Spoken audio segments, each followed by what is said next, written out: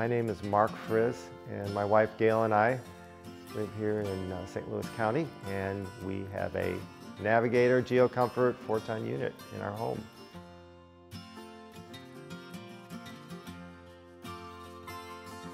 I have always in my life liked to study about technology, and so I've been interested in electric cars, solar panels, hybrids, anything that saves energy. And um, so I just started reading when we were going to build a new home about all the different types of heating systems.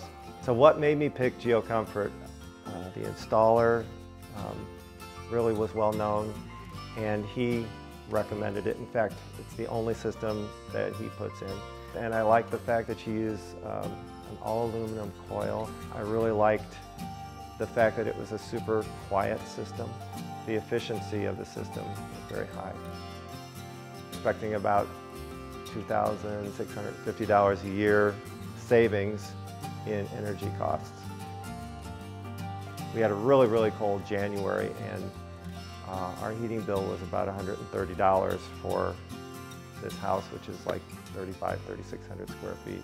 So we were very impressed with that. That includes a, you know, other electronic equipment in the house too. That was the entire electric bill.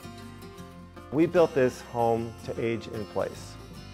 And one of the reasons we chose geothermal was we wanted to make sure that when we get older and maybe we don't have as much income as we do right now, that our electric bills would be very stable and low. We feel like it's our job to take good care of the earth.